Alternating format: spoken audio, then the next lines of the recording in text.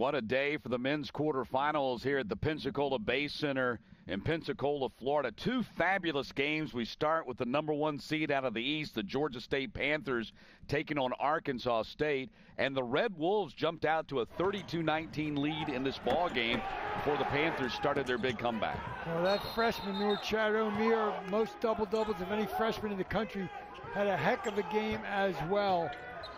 16 points, 18 rebounds for him and he was everywhere, especially on the glass.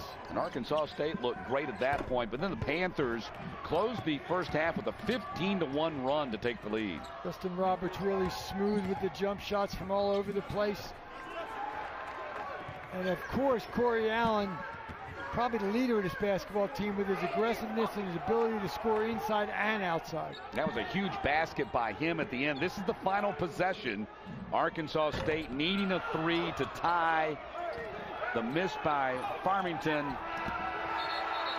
And then the miss at the buzzer, and the Panthers are back in the semifinals as they are so accustomed to being here in this tournament. Then App State and the regular season champions, Texas State, and a fabulous finish to this one as Caleb Asberry hit two threes in the last 10 seconds.